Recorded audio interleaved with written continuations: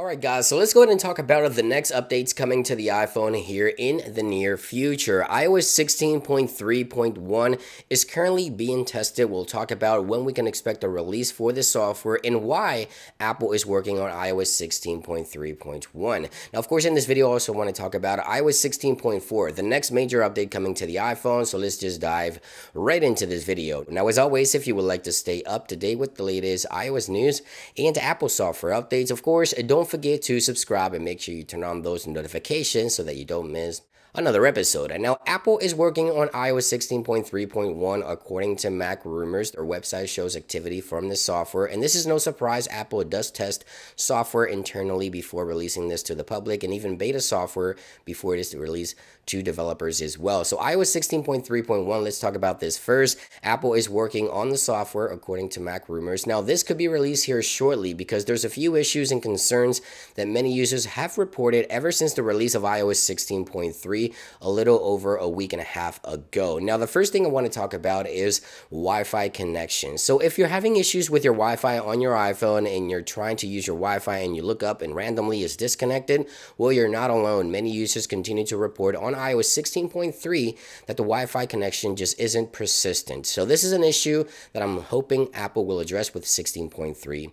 Now, something that's happening again, which is, in my opinion, a bigger concern, is a storage issue. So, if we go to general and iPhone storage here, many users continue to report that their iPhone once again is reporting that the storage is full, although their iPhone just isn't full at all. So, the software is having a bug that reports that the iPhone is completely filled with stuff, and it really isn't the case. And this is a major issue, of course, because, of course, you can't take pictures, record videos, download apps, because the iPhone really thinks that it's completely maxed out on storage and it isn't. So yeah, many users continue to report this again once again because this was happening before with iOS 16, remember a few months back, and hopefully 16.3.1 will be released here in the next couple of days. So let's talk about release date because I'm thinking Apple will release this next update on the week of the 6th of February. Now the filming of this video was on the 3rd, so over the weekend Apple does not release any software updates. So expect the next update